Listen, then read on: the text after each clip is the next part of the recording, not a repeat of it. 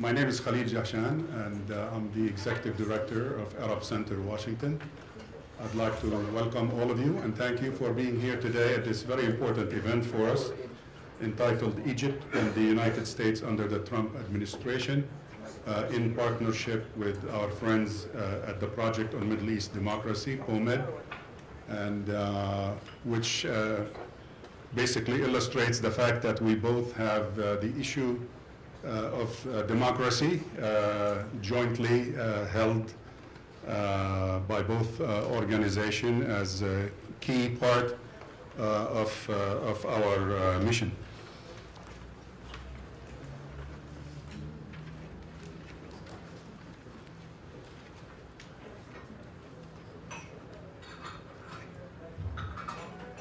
Come on up, Michele. Again, uh, welcome everybody, and uh, basically uh, the uh, title of, uh, of this event uh, was not born in, in a vacuum. As I just started saying, this is a topic that's key and central to the mission of both organization, Arab Center Washington, and also POMED, and that's why we partnered on this. And our speakers, uh, particularly our guest speakers who will be introduced uh, in in few um, minutes, uh, have been in town for several days now, uh, doing uh, a variety of, uh, a long list actually, of meetings with officialdom across the executive and the legislative branches of government, but also with our colleagues in the human rights communities to kind of explain, if you will, the state of affairs with regards to democracy and, and uh, human rights uh, in, in the region. Uh, let me just say a couple of words uh, with regard to the uh, significance of democracy for us, at least at the uh, uh, Arab Center. Um, uh, I, I described it as a central theme uh, in, in, uh, in our mission, and, and that uh, it is. But frankly, it's not just an academic exercise for us. Uh, it's a serious commitment uh, based on, if you will, the flagship program of our center, both here and in Doha, uh, the Arab Center for Research and Policy Studies there, uh, uh, which is emerging as the number one, I believe, uh, uh, uh, think tank uh, in the Arab world, a sizable uh, think tank. And one of our programs there is, uh, some of you might be familiar with it, uh, is the Arab Index uh, project. And uh, the, uh, the Arab Opinion Index is the largest such index uh, in the Arab world. Uh, we have, this is our fourth year. We started in uh, 2012, 2013, and we just finished the 2016 index. And we will be announcing the results actually here of this podium on the 12th. Uh, So please come back, visit with us again on the 12th uh, of uh, of April to discuss uh, the results uh, of the opinion uh, index. And this is, like I said, uh, an index based uh, on interviewing uh, uh, 18,000 people throughout the Arab world. It will cover 12 countries. Uh, and uh, it took about two months plus uh, to complete. It's an annual event. We will be basically unleashing or, or uh, uh, announcing the results of the 2016, but we will also be comparing uh, the uh, results with the previous uh, three uh, indices that, uh, or, or results of the three surveys that were done uh, before. And our commitment to democracy actually stems from the result. Uh, that's why I said it's not academic, it's not ideological, it's not political. To me, when 80 plus percent of Egyptians say my preferred form of government is a democracy, okay, I feel empowered to give them the chance to state that in public here in the United States because it's not that clearly known. Uh, when they, um, in addition to that, uh, when they declared in 2012 in our first survey, 84% of Egyptians basically chose uh, to, uh, to declare uh, not just uh, democracy as their favorite form of government, but they expressed their safety in expressing their views in Egypt in 2012. Guess what the number is today?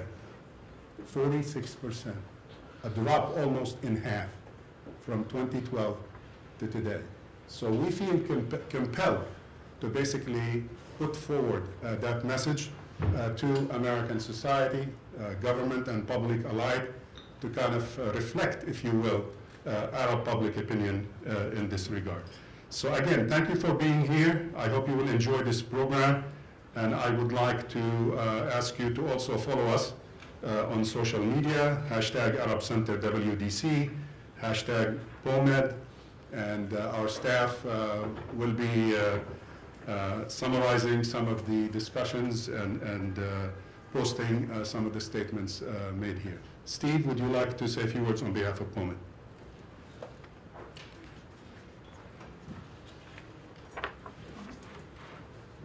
Thanks very much. Thanks, Khalil, and uh, thanks all of you for coming. Uh, We're very pleased to see uh, how much interest there is uh, in this event today and- and this, in this topic. Uh, As all of you know, uh, President Sisi is traveling here from, from Egypt. We'll be meeting with President Trump at the White House on Monday. Uh, It will be the uh, first meeting uh, at the at the White House for an Egyptian president uh, since uh, former President Mubarak came here in 2009. Uh, The White House put out a, a very brief statement yesterday, just three sentences, I believe, sort of the formal announcement of the meeting. And in, in their brief announcement, they mentioned only two issues that would be discussed on Monday. That was fighting ISIS and terrorism and, and regional peace and security, uh, including the uh, Arab-Israeli peace. Uh, We're holding this event today uh, in part because we think that there are a lot of other issues uh, related to Egypt, uh, including issues of domestic politics uh, and human rights in Egypt that, that are very important and that we believe should be part of uh, discussions next week, uh, and that we also believe are very uh, intimately tied to, to those issues uh, that were mentioned. Uh, we believe uh, that Egypt's ability uh, to, to be a valuable partner for the United States in, in uh, fighting terrorism or providing regional peace and security uh, is very closely tied uh, to its approach to, to, and the government's approach to, to ruling and uh, domestically. And so we're really excited to have an outstanding panel today, including uh, two of Egypt's uh, most impressive leading human rights activists who are visiting Washington this week. And we're very excited to have them here with us. We're also excited to have uh, two uh, top-notch analysts, uh, Washington-based analysts, who both have extensive experience inside and outside of government, working on uh, U.S.-Egypt uh, policy and relations. Uh, And now I'm, I'm very pleased to uh, turn to uh, Joyce Karam, who's the Washington Bureau Chief uh, for Hayat newspaper, who's going to uh, moderate the discussion today. So, thanks.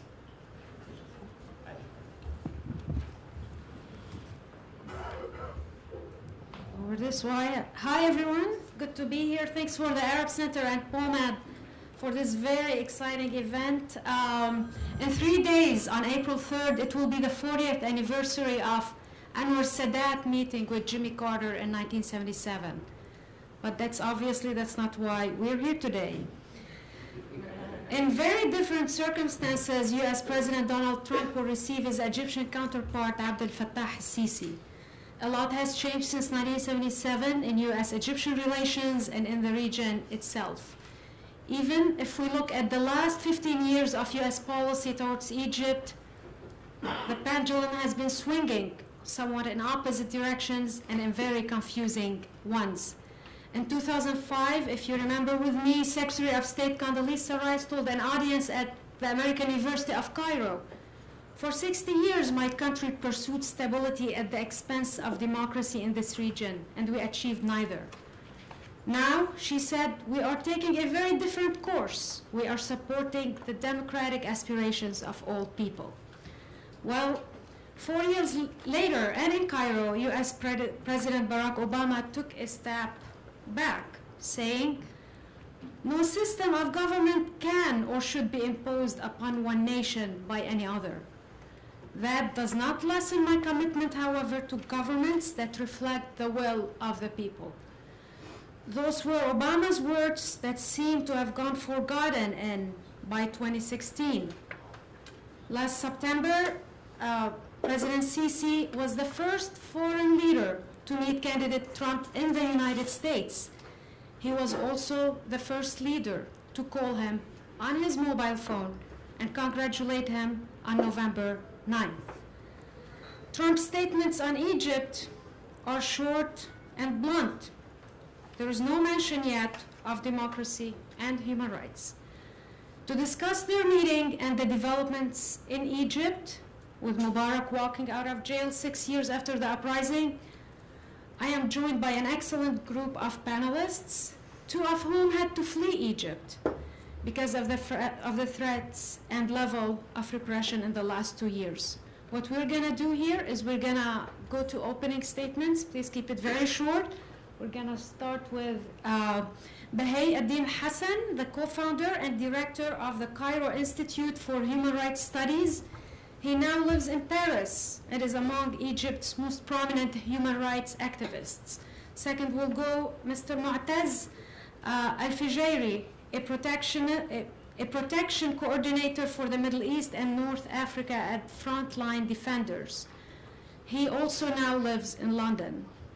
Uh, to my right is, you probably all know her, Michele Dunne, a former US official and director of Carnegie's Middle East program. I think she should be an honorary Egyptian by now for, for her deep knowledge, research, and many, many very interesting visits to Cairo. Further to the left, we have Mr. Tom Malinowski. He's uh, most recently served as Assistant Secretary of State for Democracy, Human Rights, and Labor from 2014 to 2017. Yes, that office exists. Still. He also served in the State Department as a speechwriter for Secretaries of State Warren Christopher and Madeleine Albright. Uh, delighted to have all of you here. Let's start with Bahey, and then we'll go to Moataz, then Michele, and then Tom. Thank you.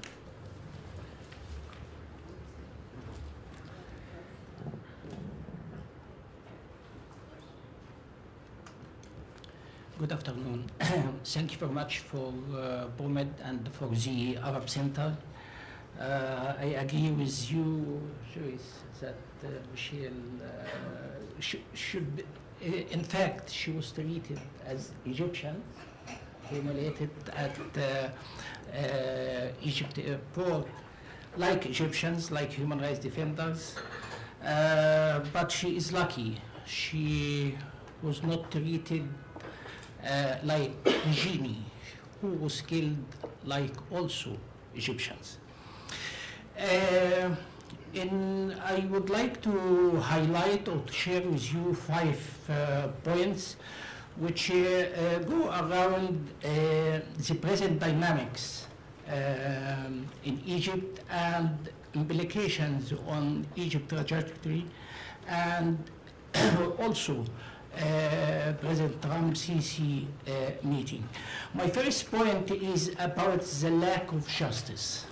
Lack.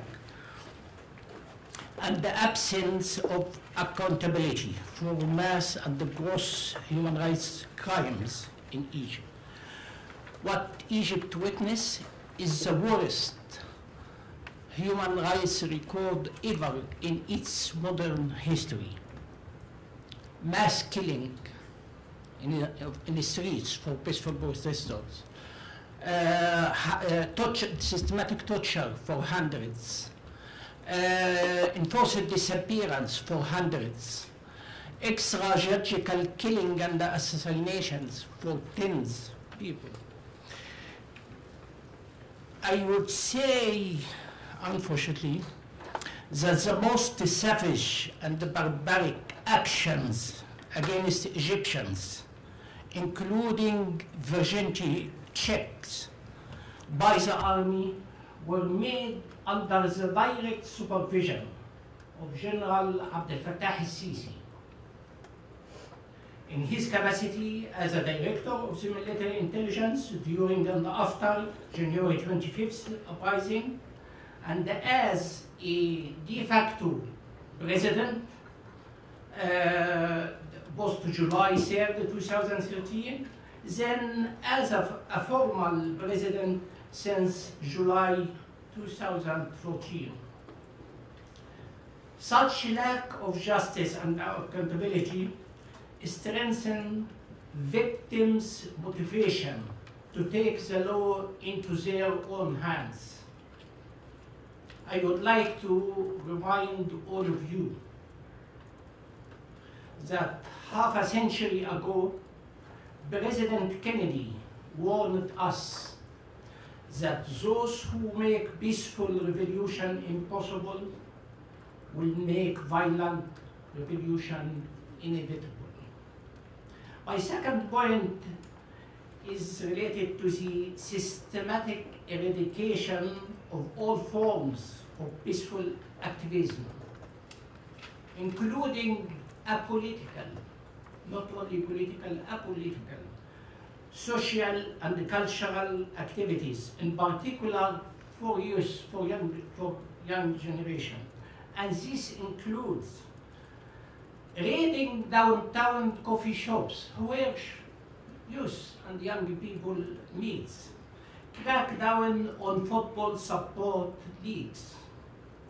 Such policy of zero tolerance towards peaceful activism renders stability in Egypt as an impossibility.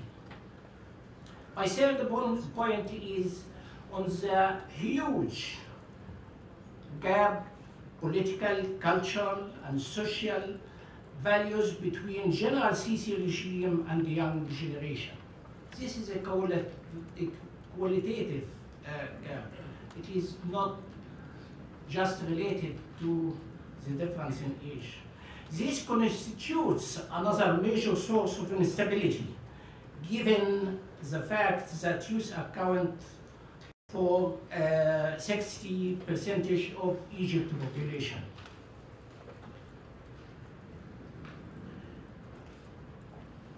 Contrary to the common wrong assumption about the model of General Sisi state, what we witness, and this is my fourth point, is the erosion of state, state's major institutions, like the judiciary, parliament, cabinet. cabinet. Such institutions were semi-functional during the Mubarak era. However, under General Sisi regime, the unprecedented degree of direct governance by his individual aides and the security bodies, depreciating the state resilience and the hollow it of any fail-safe mechanism. Those institutions which are meant to absorb political and socio-economic shocks will not be able to absorb the inevitable up upheaval that the regime is likely to face due to its unprecedented brutality and the poor governance. My fifth point is on the question of counter-terrorism, which tops the agenda of Mon Monday meeting between President Trump and the President Sisi. In fact, I don't see that it tops the day-to-day agenda of President Sisi, even it, will, it is not at the bottom of his agenda. But anyway, this is might explain the recent catastrophic deterioration of the security situation in Sinai, which is marked by the, now by the displacement of Christian community and the ISIS setting up of checkpoints at the capital of North Sinai, El Arish, which is just 90 miles from Canal. Uh, ISIS made that to enforce its version of Islamic law. These developments demonstrates that unless the regime revises the counter-terrorism strategy, Sinai may very well become Egypt's Mosul. I wanted to point out in, in, uh, uh, at this point in, to one of President Sisi speech. Sisi said, and this is a quote, the terrorists who started, we could have coexisted. End the quote. Ironically, this generous offer, which of coexistence, which made to terrorists, to ISIS, was never ex- extended to secular pro-democracy activists or human rights defenders. Sisi's statement offer Um, an insight to the logic behind his current trajectory and the rhetoric on fighting terrorism. It is the logic of soliciting blind support from the public opinion and the international community in the name of fighting terrorism, but in order to push for a totally different political agenda, which leaves again stable Egypt and impossibility. While President Trump assumes that President Sisi shares his concerns and interests in fighting ISIS, in fact, President Sisi would only make use of this naive assumption in order to pursue his long-standing bloody and destructive agenda, not only for Egypt, but for the region as well. Just two lines. Egyptians are watching with great interest this visit and the Monday meeting and the outcome of this meeting. If the outcome would be unconditional support for Sisi, this would be interpreted by Egyptians as a blessing for long-standing Egyptian suffering under his government, including also blessing, blessing including the most savage and barbaric uh, uh, actions made by his, and the crimes made uh, committed by his regime. I am certain if this is, would be the case, the United States would have to pay a price. Thank you very much.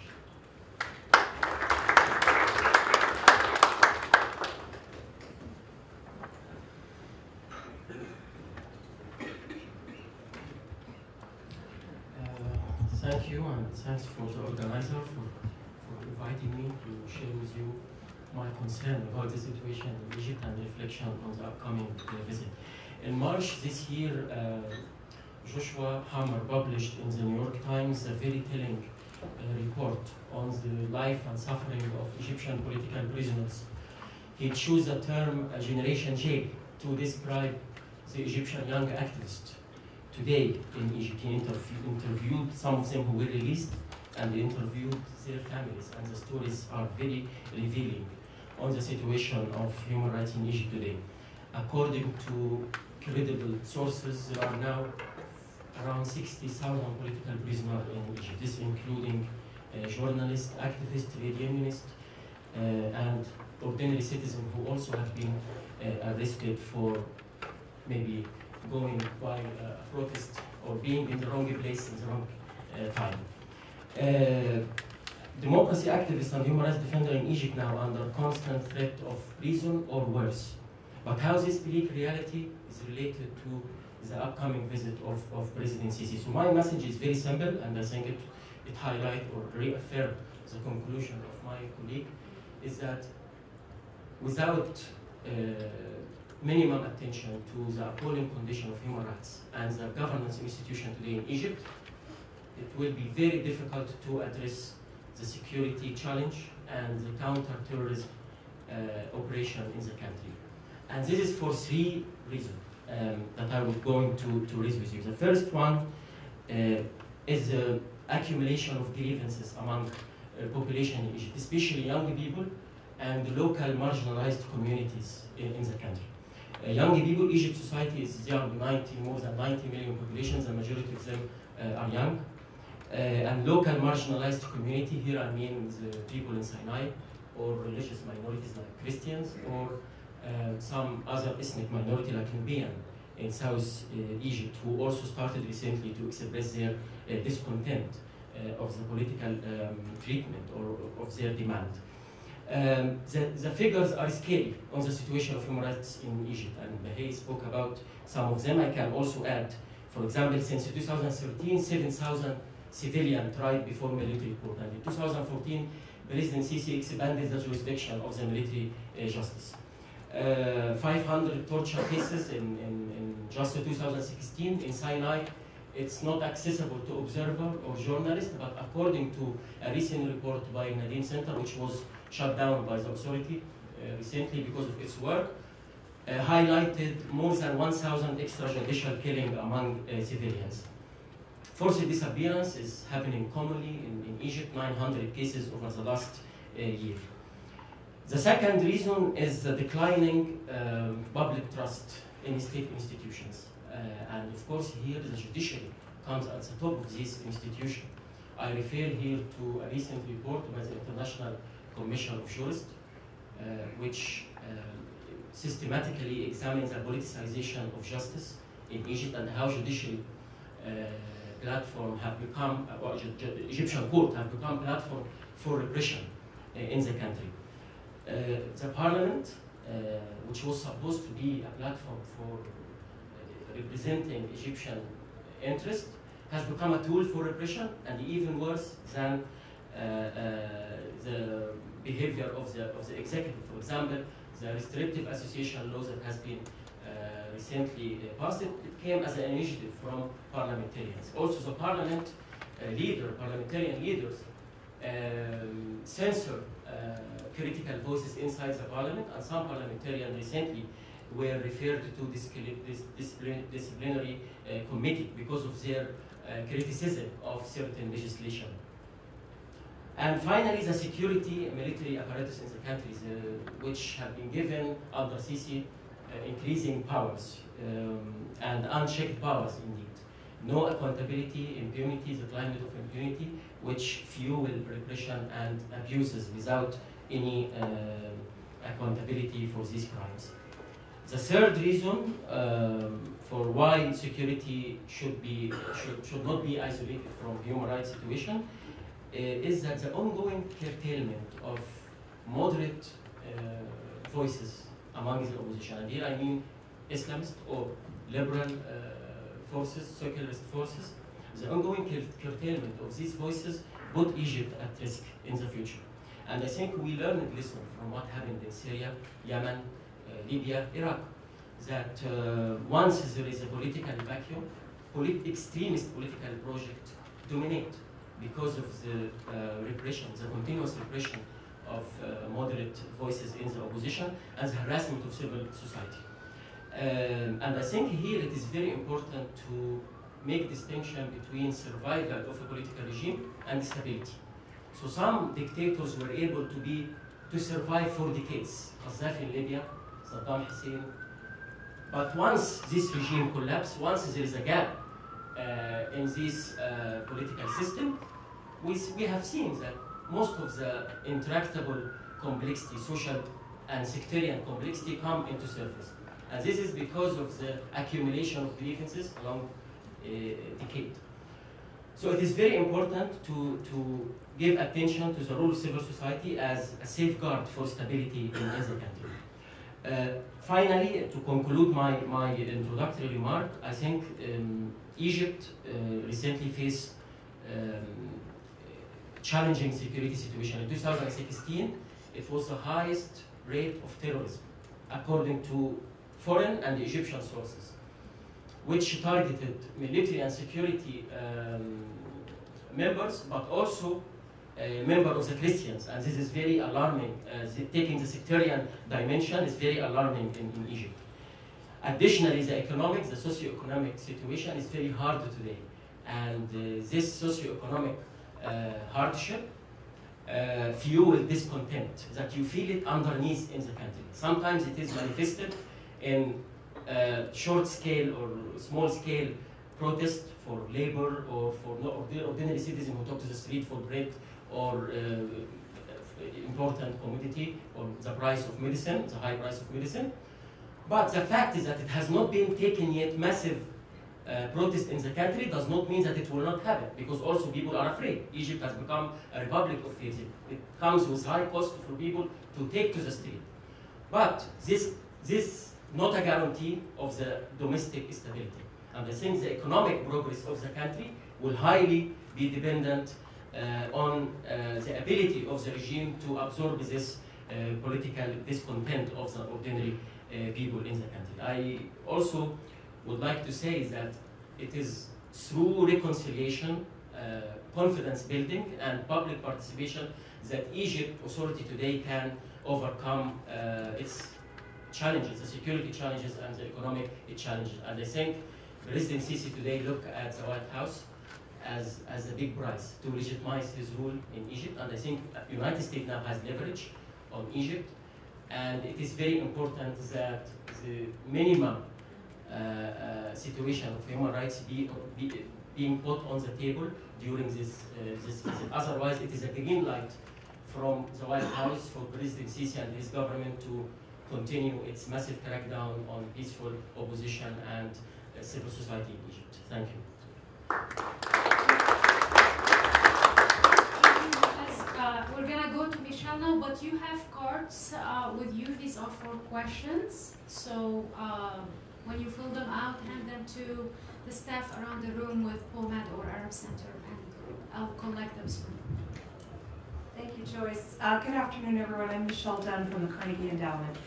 Um, you know, I, I quite agree with what Behan Moataz has said about the unprecedented human rights abuses uh, in Egypt since 2013. But with um, two Egyptian and one American experts on human rights sitting right here, I'm going to address some different topics. I'd like to say something else about U.S.-Egyptian relations. When President Sisi comes here on Monday, it's going to be the first time in quite a while.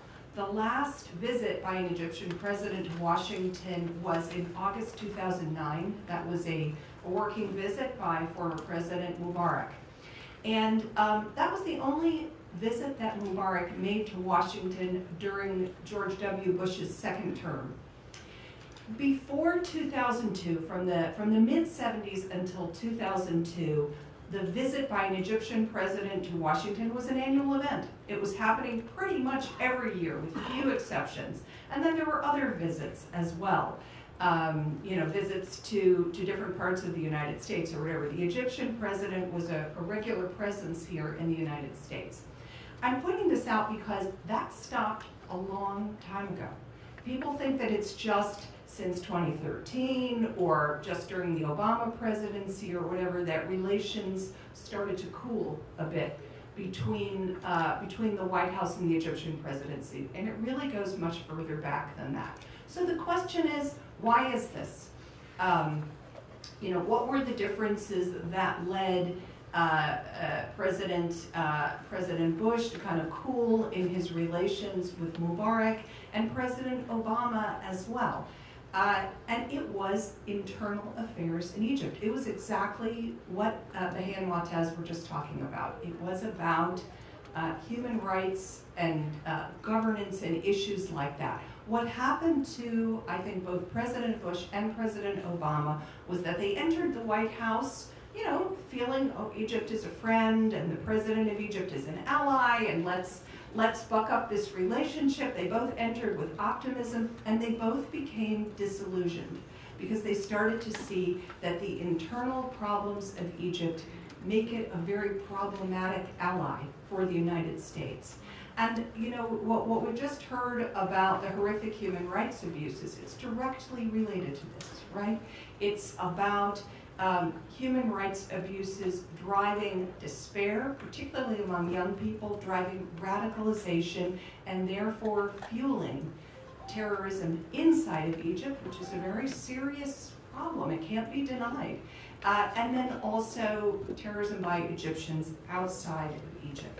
So, you know, while we can say, look, the domestic affairs of Egypt are not our concern, unfortunately, you know, what, what has happened is it, it does become our concern because it, it really changes uh, the role, uh, the, the, the kind of terrorist threat in the region and also the role that Egypt can play.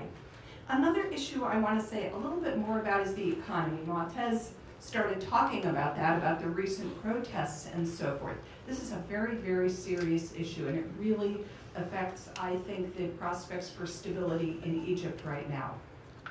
The misery index, that is, if you add up the uh, rate of inflation and the rate of unemployment in Egypt, according to official Egyptian statistics, in February 2017 was 45%. Right? We're look, we were looking at 33% core inflation and then another 12% unemployment. That's according to official statistics. And of course, most people think those statistics underestimate unemployment in particular. Uh, recent studies have estimated that unemployment, certainly among young people, is in excess of 30%, and, in, and for university graduates, even higher. So we're looking at a serious economic situation. President Sisi has gotten some uh, approval from, from the international audience for steps he's taken recently, such as floating the Egyptian currency and reducing uh, energy subsidies. And those are important macroeconomic steps. But I think what's really important is what's happening in the microeconomy. In other words, generating jobs for Egyptians. And unfortunately there, we see that President Sisi has adopted a strategy that is not at all aimed at generating jobs for Egyptians, that is not aimed at human development, at developing the labor force of Egyptians, for, uh, for example, all these young Egyptians entering the labor market really need improved education and training. Egypt needs to adopt policies to attract labor-intensive industries, to put them to work, all of that. Instead, we see President Sisi putting billions and billions into mega projects led by the military, uh, the, the second Suez Canal passage, now this construction of the new administrative capital outside of Cairo. This is where President Sisi is investing. And you know, one can only speculate he's investing there because this is what the military knows how to do. He's a man of the military and it satisfies the military. And it's a way they can make a lot of money. But what it's not doing is putting Egyptians to work. So again, that's a concern. I think with a country the size of Egypt, uh, an economy that is, you know, in a, in a really extremely difficult place, uh, people facing poverty, deteriorating living circumstances, as well as human rights abuses. This is a recipe for very serious instability in this country of 94 million, you know, that sits on a land bridge between uh, Africa and Asia. And so it's something we all need to be, to be concerned about. Regarding this visit, uh, I mean, I think, look, the question is this. Uh, you know, I, I, said that in some ways um, relations have cooled over a long period between Washington and Cairo. But, uh, and, and that, that President Bush found out and President Obama found out, and I suspect President Trump will find out as well that Egypt's internal problems are such that its, its usefulness as an ally to the United States is really limited until those problems begin being addressed. But at the same time, there's been a certain way in which the United States has kept the relationship with Egypt on autopilot, particularly when it comes to assistance. There's a new Congressional Research Service report out this week uh, that um, just adds up all the assistance U.S. assistance to Egypt over the past several decades is $77 billion. And so, you know, the question is, uh, you know, what, what is the United States getting out of this relationship? $77 billion is a lot of money. It was meant to bolster peace in the region, and indeed the Egyptian-Israeli peace has helped. It was also meant to develop Egypt and to help Egypt move in a, uh, in a positive direction. And I don't think that has happened you know, the question is, is, is President Trump going to do the same thing the U.S. has done all along? The U.S. administration supported Mubarak in an unconditional way, supported the SCAF, supported Morsi, supported Sisi. It just goes on and on. Whoever is in power, the United States just, you know, just cozies up and supports that person in power, even if the relationship is a bit, is a bit cool. I think it's time to start asking um, what, what it is that the United States is getting out of this and whether there could be uh, a more productive partnership. Thank you.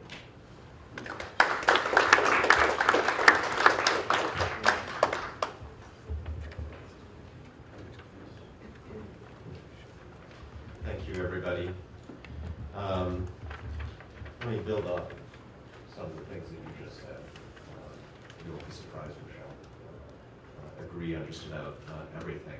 And I'll start by saying that, that there is a common assumption that Egypt presents for the United States the classic trade-off between uh, promoting our democratic values and protecting our security interests. And in some relatively minor day-to-day respects, that, that, is, that is true. We do obviously need to be talking to the Egyptians about regional security. On a tactical level, we need to have a counterterrorism conversation with the Egyptian security services. But I, I have to say, as an Obama administration official for three years, uh, I, I felt the, the pattern that you described, that, that there is the sense that Egypt has tremendous potential as a partner of the United States because of its size and historic importance, but the reality has simply not lived up to uh, that potential. Much of what Egypt does do that is in our interest, it does because it is in Egypt's interest. Most of the cooperation with Israel today, I think, has nothing to do, Egyptian cooperation with Israel, has nothing to do with the state of its relationship with the United States. It's something that it would do um, anyway. Meanwhile, um, Egypt does virtually Raqqa, where Americans and our coalition partners are actually fighting um, this uh, common enemy. Uh, Egyptian influence in Libya has been largely destructive to our interests over the last uh, couple of years. In the Sinai, uh, the Egyptian military has consistently employed tactics uh, that have made the insurgency uh, there broader and worse, uh, directly contrary to advice that it has received uh, from our Department of Defense over the last couple of years. And most harmful of all to American interests, I think, has been President Sisi's insistence on conflating uh, his domestic political opposition with the real terrorist threat that Egypt faces, with the result that there are today, as we heard, thousands of young people uh, in Egypt uh, today who are imprisoned um, for either membership in a banned political party like the Muslim Brotherhood or simply participation in peaceful rallies held under terrible conditions in prisons side by side, cell by cell, um, with hardcore ISIL members who, are, who have been presented with the, the greatest opportunity they could possibly have to deliver their message, which is that those who believe in democracy as a way of solving a country's problems are fools and idiots, and that the only way to win is by taking up arms and being strong like the terrorists have shown um, in their uh, horrible um, caliphate. They had an opportunity to deliver that message to thousands of young men who are in the most vulnerable position um, possible to, to actually believing that kind of message in those prisons. Now, um, President Obama did meet with, uh, with Sisi, uh, not in Washington in one of these uh, fancy visits, but he did try to get this message uh, across. Uh, found that uh, conversation to be incredibly frustrating, concluded that there was probably no way to break through uh, with a reasoned argument. Uh, Secretary of State Kerry tried, uh, I would say, even harder and certainly longer um, to deliver that message. He spent hours with President Sisi, with his counterpart Sameh Shoukry, um, uh, urging them to ease up on civil society, to reform the economy, um, to um, release certain uh, people uh, from prison. Um, the result of those conversations was that occasionally we were able to help someone, occasionally we were able to get um, a prisoner of conscience uh, out of jail, but the overall situation continued to get worse. We were besieged with reports over the last couple of years of, of just acts of, of disgusting cruelty uh, committed by um, the Egyptian uh, security services, the, the, the, extended torture to death of the Italian student, um, which represented to all of us, uh, it, it, was a window into, into what many Egyptians obviously have experienced at the hands of their security services over the years. The bombing of our uh, of, of, tourists in, in, the Egyptian desert by F-16s uh, and, and um, in case after case. And, and I have to say, when you are in government, you know even more about these cases than you do when you're reading about them in the press. And what we knew certainly increased our level of disgust. As a result of all of that, the Obama administration in the last uh, couple of years made a, a number of relatively modest um, decisions. We, um, we did gradually ease some of the restrictions on aid that were imposed after the military coup uh, in Egypt, but we did decide to end the cash flow financing system of providing military assistance, which made military aid into a virtual entitlement, um, budgeted years uh, in advance. We resisted um, getting into unnecessary um, military and intelligence uh, uh, cooperative um, uh, efforts with uh, the Egyptians that would have made us complicit potentially um, in some of their abuses, and we refused to certify the human rights progress uh, to the Congress that would have been necessary to release the final share of military uh, assistance that, uh, that Egypt gets from us. I don't expect President Trump to follow um, uh, to follow even some of those modest steps uh, that we took. I think we have to take him uh, at his word um, when he says that he doesn't really see any point in the United States being a force for human rights or a force for good uh, around uh, the world. Certainly a president who calls American journalists enemies of the state is not going to be uh, the best uh, tribune of our values to a leader like uh, President Sisi. Um, I think the burden of promoting those values is going to fall uh, increasingly to other uh, institutions in the United States, to our Congress, to our civil society, to all uh, of us. We have to be clear-headed about this. At the same time, I think President Trump does have an opportunity, if he decides to use it, to at least try to get some people uh, out of prison in Egypt uh, during this visit. If he wants to approach this relationship in a transactional way, um, then he could get something out of it. At the very least, to get the American citizens who are in prison in uh, out of jail. An America First foreign policy ought to at least encompass um, standing up for American citizens who are unjustly imprisoned uh, in other countries. And if he can achieve that and maybe get a few others in the bargain, he can have the pleasure of saying that he did even better than Obama on this. And you know what, fine. If that's what it'll take to get him to raise these issues with Sisi, then, then more power uh, to him. I'm not holding my breath. Uh, and certainly beyond that, I don't expect um, that this administration is going to make human rights a regular feature of its relationship with Egypt uh, or any other country um, for uh, that matter.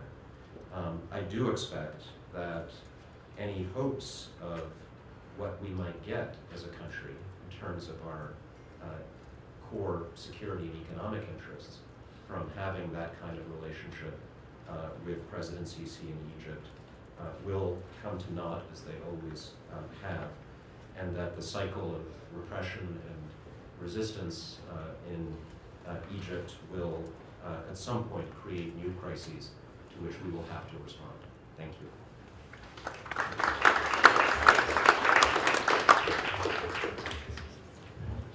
Thank you all. I, uh, I had many questions myself, but given the overflow of questions here around me, I think I'll just ask uh, only two questions. And if you know me, that's a huge concession. So uh, I'm gonna start with uh, Mr. Hassan. You said uh, it was interesting to hear you say that the, actually the Mubarak days were better than uh, what's going on uh, at the moment. Would you rather go back to, to, to those days? And um, to uh, Moataz, we hear a, an argument in DC a lot that if Sisi didn't come to power, if the military uh, didn't uh, overthrow uh, uh, Morsi, then Sinai could have been another Egypt. Uh, or ISIS would have been on the move uh, in, in, in Egypt. How do you how do you answer that? How do you uh, counter this argument?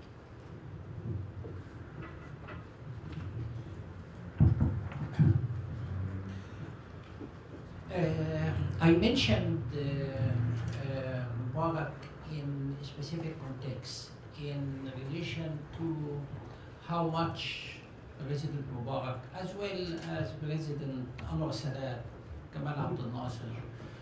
were keen on uh, keeping uh, the state institution functioning, even if uh, if not if it, it was not up to our ambitions or the idea of how a state institution should function and how the system of check and balance is in place, but at least we uh, we can witness whatever under Mubarak or uh, under Sadat that there was, relatively speaking, a parliament, relatively speaking, but not something was almost appointed and engineered in the headquarters of one of the intelligence bodies, according to a statement made by one of the close or of the uh, former uh, close advisors of President Sisi himself. He said that all the preparation, including who would run, who uh, not, was made in a meeting engineered by at the headquarters of the uh, uh, public intelligence and with the participation of senior assistants uh, of President Sisi, including himself uh, at that time. Uh, also, under Mubarak or under Sadat, we were whatever as human rights defenders or Egyptian intellectuals, uh, journalists, lawyers, and also judges. We were struggling for full independence of the judiciary, you know. But what is uh, happening under Sisi is a systematic destruction of the judiciary uh, as an institution, which is one of the most important uh, state institutions. Uh, yesterday, uh, uh, this week, uh, the parliament is deliberating a, proposed law or draft law which would enable President Sisi to appoint all the heads of the judiciary bodies. This is, would mean that the head of the judges himself would be President Sisi. And this is, is made despite that the State Council discussed the, this draft law and refused it completely. Also, the Supreme Council of Judges refused this draft law, but so this is just an example. This doesn't mean that uh, uh, Mubarak era is uh, a paradise we should go for. But really, if you hold the comparison, even in on how the state itself was functioning under Mubarak, there is no ground for comparison. It is not about that uh, Sisi were worse or Mubarak uh, uh, better. No, no, no comparison. What I am looking for as uh, uh, a human rights defender is the implementation of universal uh, human rights values and the principles and the dreams of January 25th revolution. As for the threat of uh, terrorism, of course, it is long standing in Egypt, even before 2011. In Sinai, there was uh, terrorist operation since 2004, 2005. But look at the reality on the ground today. What we are sure about, that terrorism has expanded in Egypt over the past three years. Empirical data say that. There are reasons for that. We can debate it. You know, always uh, debate on, on the, the root causes of terrorism and ideology, socio-economic situation, marginalization. But the reality now is that Egypt uh, face um, a real threat of terrorism. But what is the reaction of the government? I think one of the problems that the President Sisi has two patterns. one against terrorism and another battle for his legitimacy and survival. The two, the lines between the two battles are blurring. For example, some of the counter-terrorism legislation are, are supposed to be used against ISIS, but are used against liberals and counter and uh, human rights defenders or journalists. Recently, the government declared a list of 1,500 terrorists, a list in one, in one decision, without providing them actually uh, opportunity to de- defend themselves, without due process. Some of the people, many of the people who are in the list, they are journalists, they are political activists, they are football uh, players, I mean, uh, superstar, Aboutrika. I mean, so the government misguide the fight against terrorism and use the counter-terrorism framework to strengthen its grip on power. This is the real problem. If the government really involved in the fight against radicalization and terrorism, it will actually come closer to civil society, to liberal forces, to moderate forces within Islamist uh, uh, uh, camp. But what's happening now in Egypt, I think, that terrorism business used to blackmail the West. And this strategy was used even under Mubarak, the threat of Islamists. It's used uh, under uh, now under Bashar al-Assad, used in Yemen. That how a regime fight terrorism but want to to keep it as it is and use it to strengthen its on power and terrorize the population. First of all, terrorize the population because this is one of the sources of legitimacy for the regime. That if and the president said it several times in his speeches that I don't want to see Egyptian people, uh, asylum seekers in Europe, or the state to collapse. So use this to spread fears, sense of fears, but also use this to gain support from Europe and United States. Uh, but the real fight against terrorism need different policies, different approaches uh, in order to uh, win uh, this battle.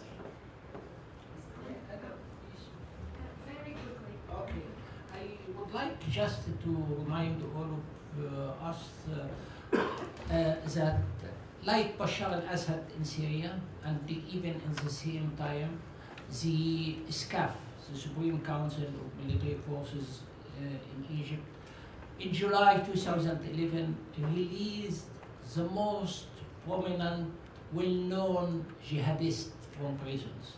This is, was not one of the demands of January 25th revolution or the peaceful uprising at that time in Syria, but the releasing of those dangerous uh, jihadists, it was made, whatever by Bashar al-Assad or by the under the direct supervision of Abdel Fattah al-Sisi, who was at that time the director of the, of the head of the military intelligence, it was made in purpose, without any care about what would be the impact in relation to the expansion of the threat of terrorism, whatever in Syria or in Egypt.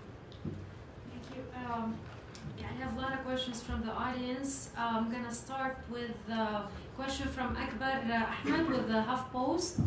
Uh, gonna direct it to you, Michele. What specifically does Sisi want from Trump, and what can the U.S. really do to change his behavior? What worked in the Obama era, if anything? If anything, that's my.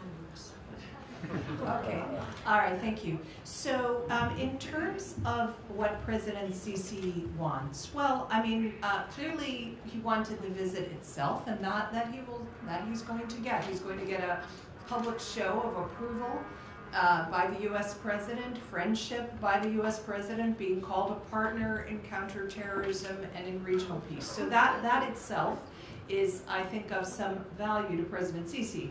But there are other things as well, and I'm less certain that he will get those. I mean, we have seen things coming out in the Egyptian media uh, that Sisi is seeking increased military aid, increased economic aid, um, there, that uh, designation of the Muslim Brotherhood as a terrorist organization, uh, and other things have have uh, appeared in the uh, in the Egyptian press. One of the most troubling is that the Egyptian government may be presenting a, a list of Egyptians in the United States that it wants extradited to Egypt.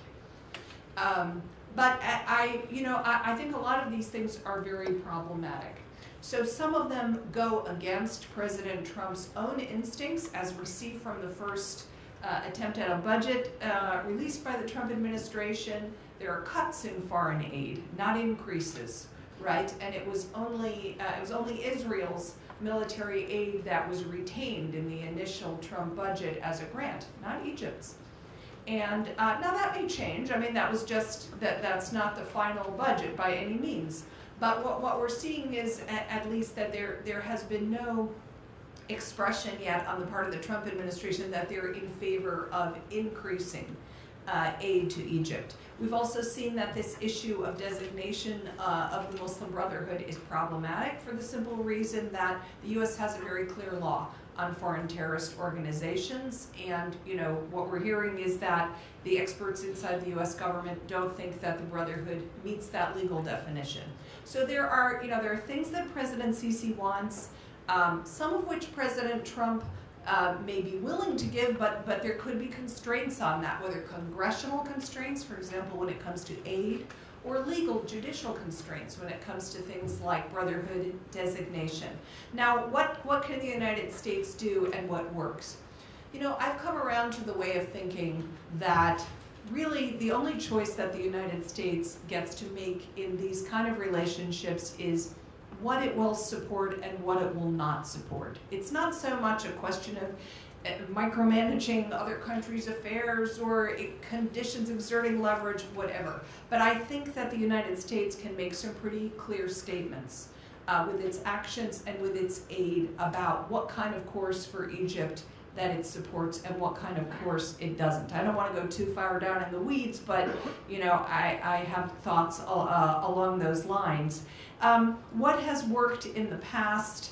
Um, look, I, I would say, you know, that, that there, there have been a number of occasions when the United States has withheld support of one kind or another.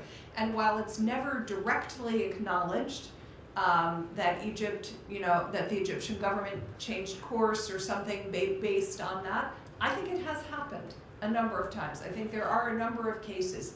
Again, this is this is uh, you know when the United States just says we can't we can't support this we can't support this course and because of that we're we're we're not going to we're not going to put our taxpayers money behind it and it, it does have its effect. Just a quick follow-up. So you you think now that the administration might be backtracking from the designation of the uh, Muslim Bro- Brotherhood as FTO? Uh, Well, I, I would say, I mean, what we're seeing emerge recently in the media is that at least um, uh, that there's some, uh, it, the effort has slowed down, right? I can't say in the end whether the, the administration might still designate Muslim Brotherhood as a terrorist organization. It could still happen. I wouldn't say the issue is over, but it has definitely, it, it, it has slowed down and, and we've seen there are a lot of debates and, and doubts and so forth that have emerged within the administration itself about whether this is a wise course. I think maybe Uh, I I actually have questions for you. You can follow up. And then, uh, Greg, I'm sorry, I can't see your last name. I can't spell it. Uh, Aftandilian from the American University, uh, asking Tom uh, that the U.S. suspended much of the military aid from October 2013 to March 2015, but uh, the human rights record in Egypt did not improve. Uh, how should the U.S. Uh, use aid as a lever? And a follow up in the same line of uh, this question from Austin uh, Power What is the future of uh, USAID program in Egypt under the Trump administration? Easy. And the question is, what is the future of USAID in the administration? Thirty-seven percent proposed cut in um, our international uh, spending, um, which, you know, and within that thirty-seven percent, that I think, you know, that Israel will be protected. I think ultimately they will try to protect Egypt. Um, Embassy security, uh, buildings and management and all of that stuff, which means that cuts to development and assistance programs would have to be much steeper than thirty-seven percent. Now, I don't think the Congress is going to stand for that, but it does give you a window into the, the intentions of, uh, of the administration. Um, so just a couple of things, including this question. On, on the MB, I agree, I, I don't think it's dead, but, you know, there is the slight problem that A, it would be illegal, and B, it um, provoked very significant opposition for obvious reasons from a number of other Middle Eastern countries, including Jordan, Morocco, Tunisia, all of which have um, what could be referred to as Muslim Brotherhood affiliated parties uh, as part of their political scenes, members of parliament, um, et, et. So, you know, nothing is ever dead in Washington, but, uh, but I think um, that one did run into some considerable problems, and, and that's a that's a good thing. Um, in, in terms of what uh, what Sisi wants, I think many of the things that that that were mentioned are things he probably won't get. But I think we do want to watch the cash flow financing uh, uh, issue, whether the administration gives them back uh, that, um, I think, unjustified uh, privilege. Uh, watch the human rights certification, whether they are willing to make what would be, I think, a dishonest certification to the Congress to release the final 15% uh, of assistance. And also watch, if we can, although this is murky territory, um, uh, the, the kind of more behind the scenes elements of cooperation with, uh, with Egypt on issues like Libya and counterterrorism, um, uh, where the Obama administration did hold back on certain things that the Egyptians very much wanted uh, from us. And then, of course, let's just watch the body language um, at the, the summit. I will be very curious to compare President Trump's body language and overall tone when he meets with General Sisi to his body language when he met with Angela Merkel. And I think that will tell you a lot about the values of this White House. One way or another, we'll see. Um, to your question about aid as, as leverage, um, I, I totally, I, I, I'm certain that, that, that there have been times when we have gotten things uh, from Egypt and other countries um, uh, through using aid as leverage. I think with Egypt, they have been relatively modest, um, not inconsequential, but modest. At this point, given everything that has happened in the relationship, I, I don't know whether it would work right now. I don't. I think it's it's a moot question because President Trump is not going to use aid as leverage with Egypt to uh, to get human rights improvements um, uh, anytime uh, soon. Um, so I think the question that one should ask in this context is not so much uh, does the 1.3 billion dollars in military assistance get us a lot of leverage on human rights, but is it um, is it in our interest? Um, are we getting our money's worth as Americans um, for giving this one country in the Middle East such a disproportionate share of our overall foreign assistance budget uh, around uh, the world? Are we getting um, the, the value for our money that I think American taxpayers expect when we are um, spending that much uh, to, to assist one government uh, in one part of the world, whether our interest is counterterrorism, regional stability, human rights, or, or whatever uh, it is. And, and I think, I, I don't think one can make a good case that we have gotten um, the kind of value that Americans would expect. Thank you. Yeah, uh, I have also two questions. They're related to uh, and uh, Bahey. Uh, the first is from uh, Mary Helmi with the Eurasia Foundation. Seeing the rise in human rights abuses, sectarianism, uh, that it impacts minorities like Coptic Christians in Egypt, how do you explain the Copts' widespread support uh, for Sisi? Uh, and then uh, on a similar note, do you think that dictatorship is causing the youth to join extremist groups when the space is closed for them uh, to express themselves and find jobs? This is from Amin with the Center for uh, Egypt-American Relations.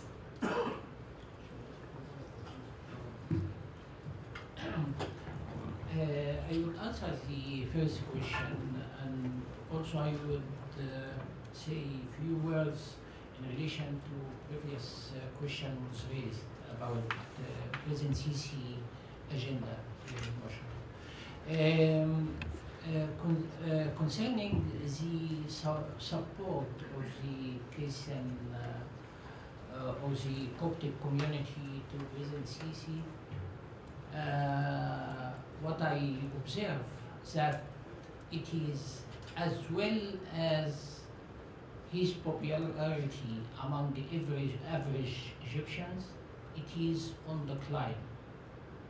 Among average Egyptian as well among uh, Christian or Coptic community in Egypt.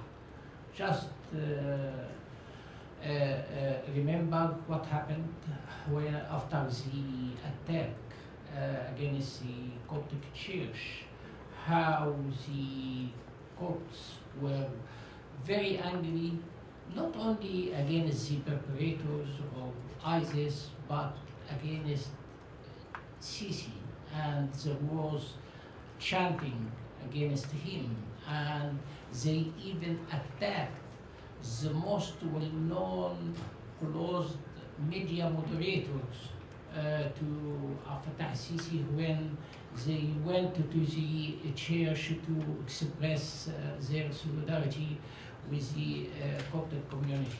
It is in decline. Uh, just uh, a week, almost a week or 10 days ago, there was again one of the attacks against the Christian in Luxor. Uh, and this is, was an occasion uh, for one uh, for an a, Coptic expert on the question of Christian community in Egypt to remind us that maybe the only protesting demonstrations which uh, uh, are allowed by the security and do not harassed by the security are the demonstrations which are attacking the Copts in Egypt. Uh, in, uh, uh, which, uh, of course, for uh, for many of us, whatever Egyptian or non-Egyptians, have such perceptions that all uh, Christian community in Egypt uh, so blindly support Sisi. This is maybe shocking. Uh, just to uh, uh, one comment concerning uh, Sisi agenda here uh, in Washington. In additional all the demands, I, I guess that the main concern for President Sisi is how to use this visit to support his new or uh, next candidacy in the approaching president, uh, presidential election. We are now almost one year from the presidential election Egypt. And the main concern for someone like uh, President Fattah al-Sisi is not the election itself. no, it is the internal candidacy by the regime itself, by the military. Would be President Sisi or he would run against some other senior actors from inside the regime.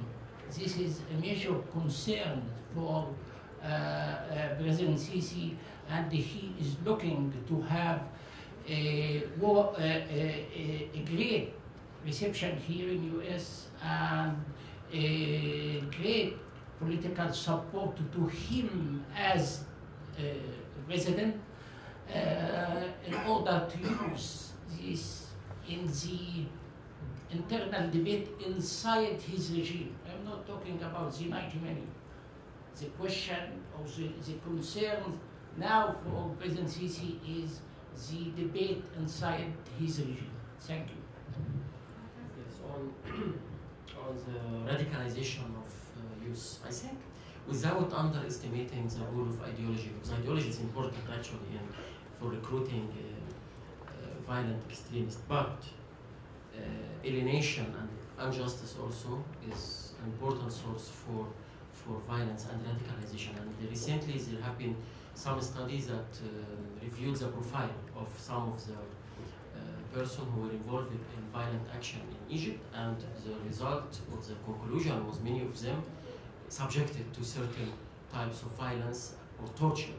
Egyptian prisons specifically, I think, become a machinery for radicalization, and here ideology may come less than a sense of vengeance, than some of the people who uh, have grievances, you know, and uh, subjected to violence from security, they can also use violence for vengeance. And this happen sometimes happen in Sinai because of the tribe there and the treatment of, of member of the tribe there, those people have sense of dignity and traditions, and when they are humiliated and massively killed, I mean, and, and uh, uh, their families have been also humiliated, so they either not support the military in their operation or they find that the only way to respond is by uh, being member of the violent, uh, violent groups.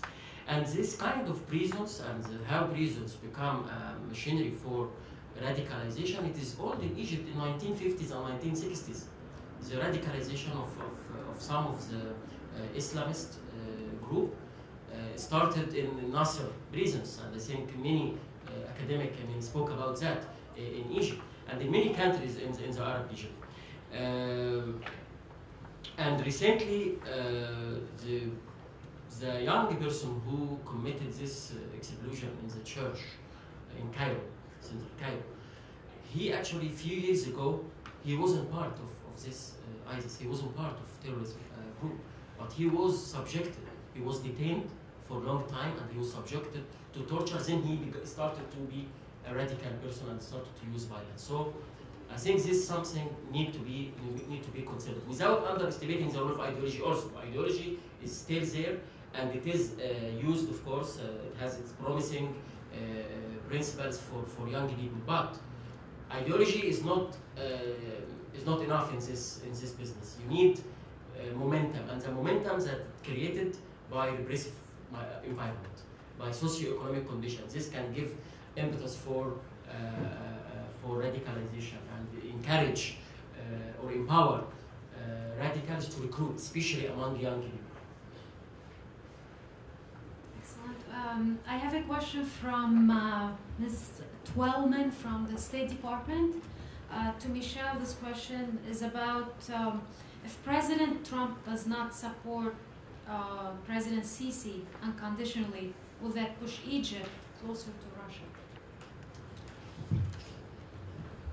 Well, I think the question is how much closer to Russia can Egypt get? They've gotten pretty close, and you know, it, it, uh, you know, I don't, I don't know if you can verify this, Tom. I, I believe that when there was uh, this debate inside the Obama administration about whether to uh, return the suspended military aid to Egypt, that this argument came up. We must do this or else, um, you know, Egypt is going to get very close to Russia. So the United States returned all the military aid, and Egypt continued to get very close to Russia. Why is that? I mean, I think we see how, uh, you know, how President Sisi uses these relationships, right? We just heard Bahey talking about this, and I think he's quite right that, you know, uh, President Sisi needs to use these international relationships to show people in Egypt and especially to show those in the military in Egypt that he can deliver for them. You know, he can bring in uh, the assistance, the arms, you know, the things that they want. And um, so he tends to, you know, play one relationship off another. And he, he certainly has done this with Russia and will continue to do it. There's just there's there's no sign of slowing down in that relationship. Um, in fact, you know we've seen recently reports of small small numbers, admittedly, but Russian special forces stationed in Egypt in the west, carrying out operations inside of Libya in cooperation with Egypt. And there are lots of other things going on in that relationship. There's a there's a bit of a check on the Egyptian-Russian relationship which is that Russia doesn't have money to put into that relationship, right? So what Egypt gets from Russia, primarily, it has to pay for. The arms and so forth, it is getting from Russia. I believe these are, these are commercial arrangements. Um, I mean, they may be favorable commercial arrangements, but for the most part, I, I think the Egyptian military is paying for that. But I think that, that will go on, and um, you know, we've seen President Sisi willing to play different donors and so forth off against each other, sometimes to play rough. I mean, one of the big things that has happened for President Sisi this week, of course, is the rapprochement with Saudi Arabia.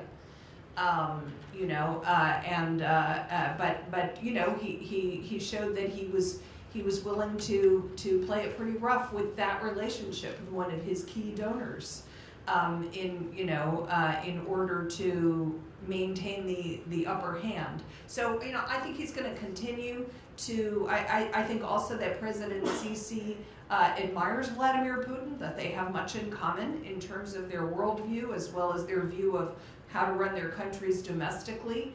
And um, no matter how President Trump, um, you know, uh, uh, how much unconditional support he gives to Sisi, I think Sisi will still continue to be very close to Putin. Yes, but I do have a question for you as well. Is uh, this is from uh, someone from Freedom House. Um, do we know how much U.S. taxpayer money is going to build and maintain prisons holding political prisoners in Egypt? Is there legal complicity by the U.S. for these crimes? Prisons, Prisons, yes. uh, we, uh, zero. Zero? Yeah, we, we don't, and in, in fact, and I- think this should probably, it's not secret, but it, it's rarely discussed for some reason.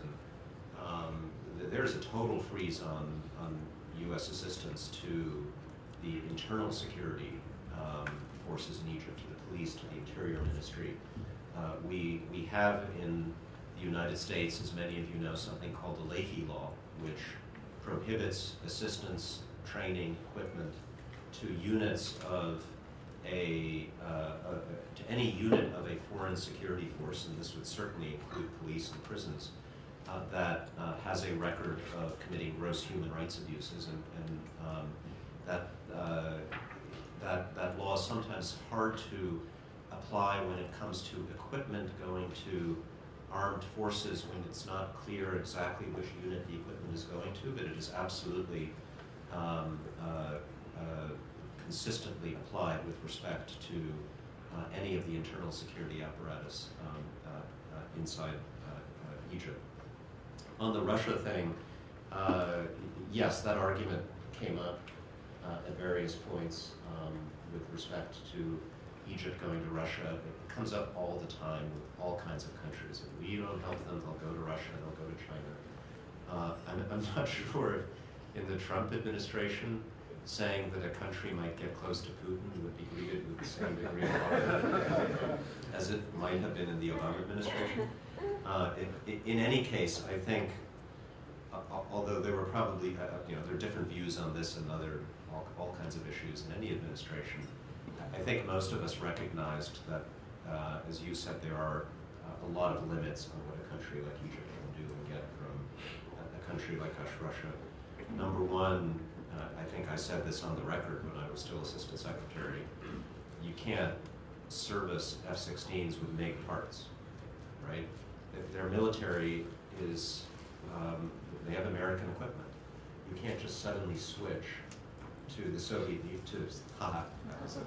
I did not mean that. Uh, to Russia or China to be, to be servicing your, your military because it's very different technology. Um, it also happens to be inferior technology, and, and, and I think here we have to remember that the United States provides goods that no other country can.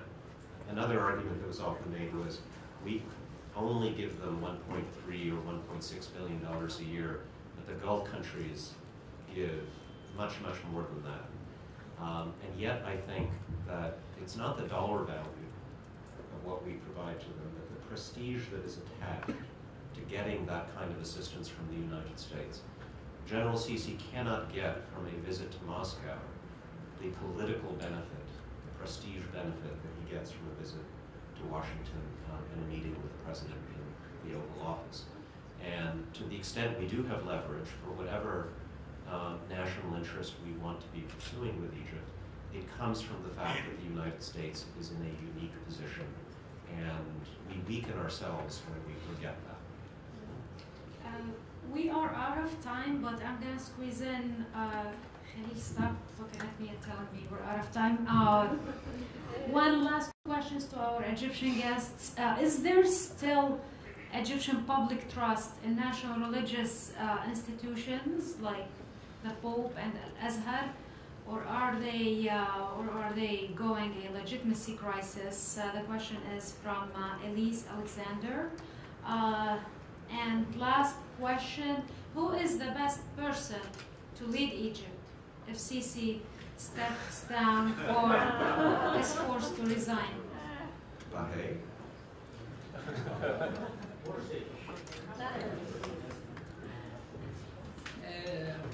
brief because uh, you know running out of time. Uh, the, the question I guess is uh, not about uh, the, or the answer. Uh, it should not be about a specific individual. It's the best who would the, have the consensus uh, support of the Egyptian to run and be elected as a president. Uh, but uh, anyway, I uh, I am sure from my perspective that after uh, this experience with direct military governance of Egypt, because what we witnessed before Al Fattah al-Sisi and the Supreme Council of uh, Armed Forces, it was full and direct military governance. We had some military figures, Nasser, Sadat, Mubarak, uh, and so on, but there was, in a way or another, there was a share between the military and the civil institution. Uh, I, I guess that uh, if uh, President Abdel Sisi uh, has made an added value for Egyptians, I guess that he contributed to convince them more and more that no way again for military governance for, for Egyptians the same, like in fact what uh, President Morsi did. The Egyptians uh, uh, uh, had a negative uh, experience under also the govern- government of the Muslim Brotherhood. I, uh, I, I guess, and I wrote, in fact, even before June 30, uh, 2013, that uh, the one of the best achievement of uh, Dr. Muhammad Morsi before June 30 that he contributed to teach Egyptians that political Islam is not the solution. Fattah al-Sisi also his contribution, main contribution is military is not the solution for uh, governing Egypt. I will leave the second question um, I guess we are uh, out of time. Yes, we, we are out of time. Thank you everyone for uh, joining us. Uh, if you were on some island for the last 10 years, don't be too discouraged. Thank you.